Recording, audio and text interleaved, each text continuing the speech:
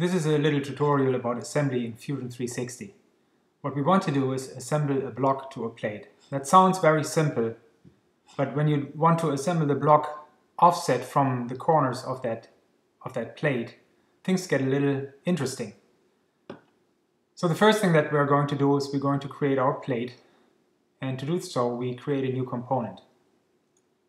That's an empty component, and the reason why I'm doing this is everything after that component is created and activated, and newly created components are automatically activated, indicating by this radio button here. Everything created after that is created in that component, so all the sketches and bodies that I create or construction geometry, all belongs that belongs to that plate is also all, all going to be created in this plate. And we're going to see that in a moment.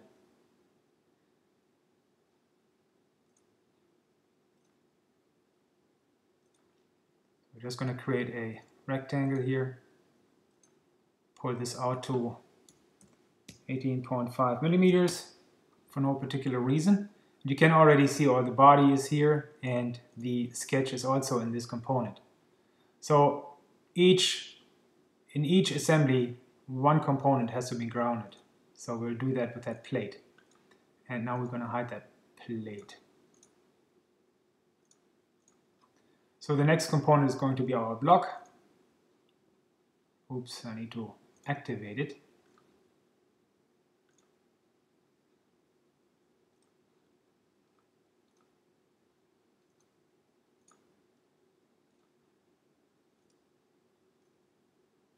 That's a nice block. Okay, that's let's rename this component. That's our block. So now we have our two components. uh, the plate shows in, uh, shows up there half transparent, and the reason for that it's not activated. Only the active component is uh, looks solid. But if we activate the top level, both of them look opaque. So now what we want to do is uh, we're going to assemble that block to that plate. So you see that I've dragged that block around so the first thing that happens when I click on the joint here, it asks me, you want to capture the position. In this case, yes, I want to capture the position so that block doesn't jump back into the plate.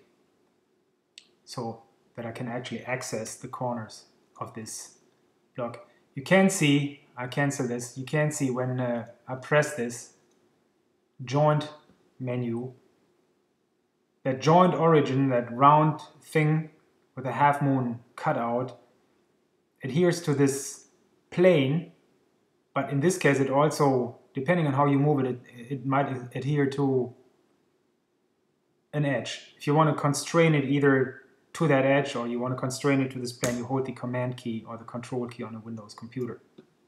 So that's the first component. We do the same here, we join it to this corner.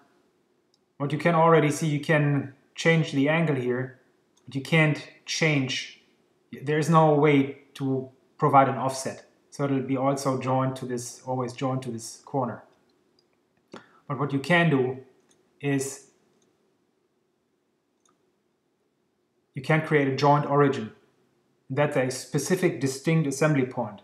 So in this case, we're going to start here at the corner and it provides us with those three arrows and those are there to provide an offset. So give that one inch of an offset in this direction and minus one inch in that direction and there's our joint origin. And what we can do now is basically join that cube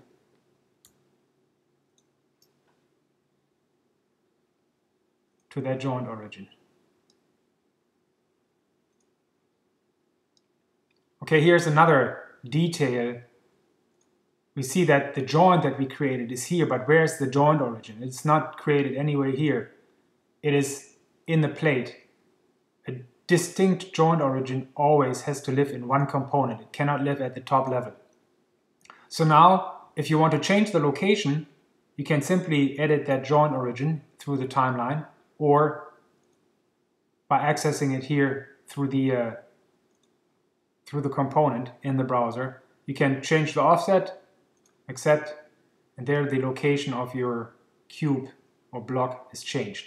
But there's there's at least one other way to do this that does not involve a joint origin. So let's delete this. what you can do, you can simply create a sketch. We create a sketch on the top plane of that plate. So it's highlighted in orange. Uh, it's somewhat auto-projected the outline of that sketch. You don't see the lines. Uh, Fusion 360 hides those, but it turns the face orange to indicate it's a closed surface.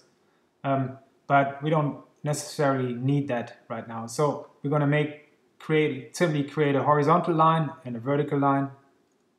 And then I'm going to simply dimension those. One inch here. Another inch here. And if you want to because we're not creating geometry with this. You can select those and turn them into construction geometry stop the sketch, highlight our top level, and now we can actually join our block here to that point in the sketch. So now if you want to change the location, you could edit the sketch. You could edit the sketch through the timeline, for example, and change the dimension. That, that's not necessarily more convenient than using a joint origin, but a nice thing about sketches is that uh, you can actually show the dimensions by right-clicking on it and hiding and showing the dimensions. And then you can also edit those dimensions without actually having to edit the sketch. So this is these are two methods of how to join a block to a plate with an offset.